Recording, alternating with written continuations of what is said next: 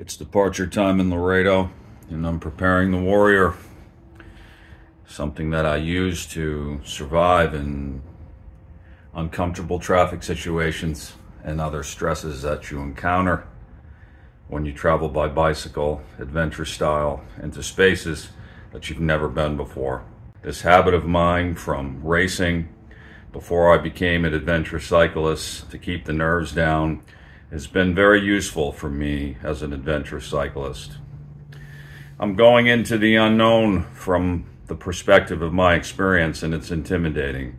I'm on my way to the bridge in the Rio Grande, a beautiful river that I'll celebrate encountering as I make my way into the next chapter of Climate Zero.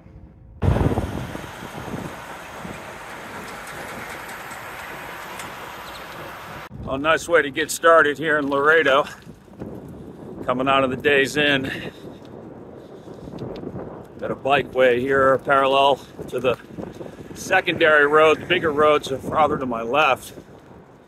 Approaching Bridge 1, the primary exit entrance point to Mexico in this vicinity.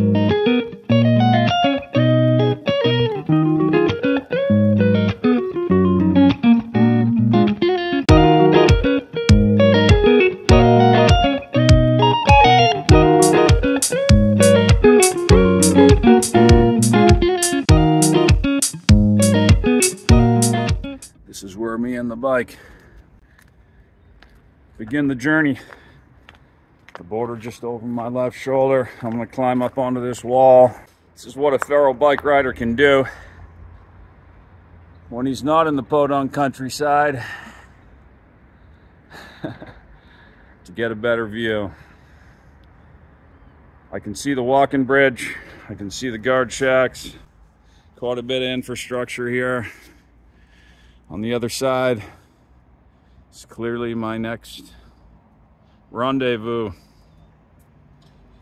Here we come, Mexico.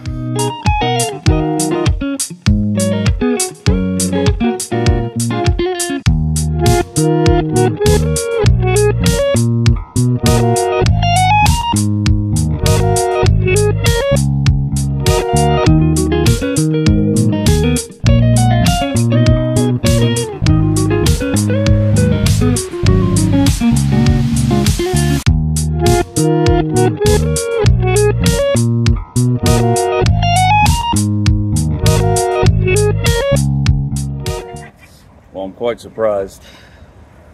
Could not have been smoother coming through. Very kind gentleman. The third one that I arrived to, man, he had a solid weapon.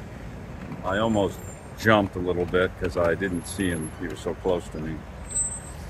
But no harm came of me, of course. He's just guarding the border. So here I am on the first intersection. And there I was a moment ago. So far, only kindness. How about that, huh? Not surprised.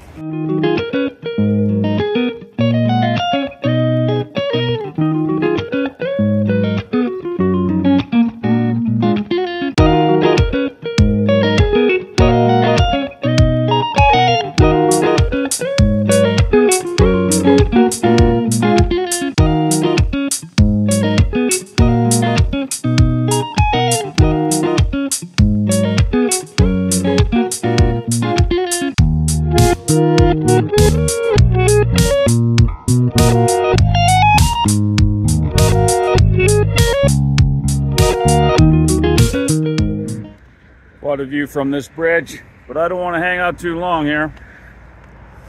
People are already maybe taking notice of the fair-skinned white dude standing on the bridge.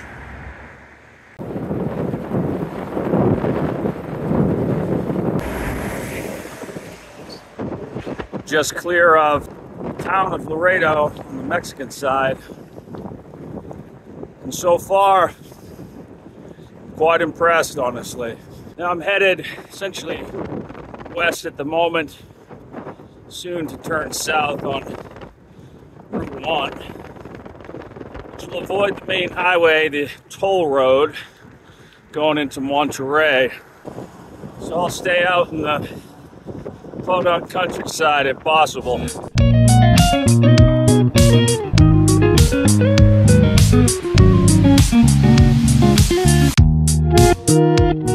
Road did finally get rough, but fortunately not for too long. We'll see what's ahead. Exiting Anahuac, where I dropped in for some local food made by a street vendor. I'm now in a space where I have to take care of fresh food, fruit and veg, which I enjoy so much. So it'll be difficult. I'm gonna guess that was friendly.